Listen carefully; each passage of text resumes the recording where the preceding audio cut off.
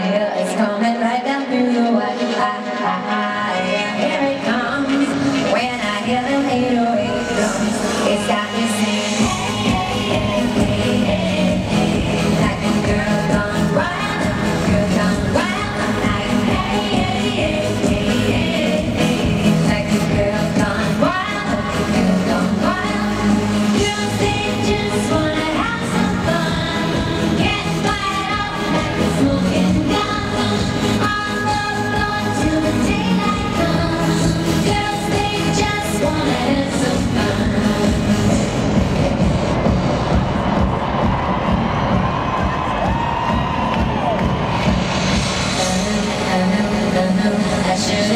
say it.